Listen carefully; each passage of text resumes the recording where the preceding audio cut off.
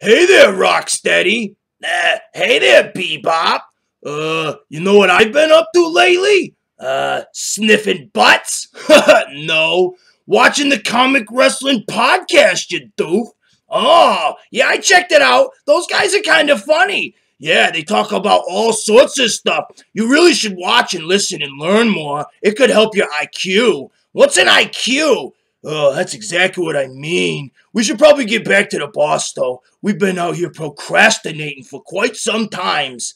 That's a big word for you. Could you explain it to me on the way back in? Of course. But check out the Comic Wrestling Podcast. Yeah! Ooh, oh.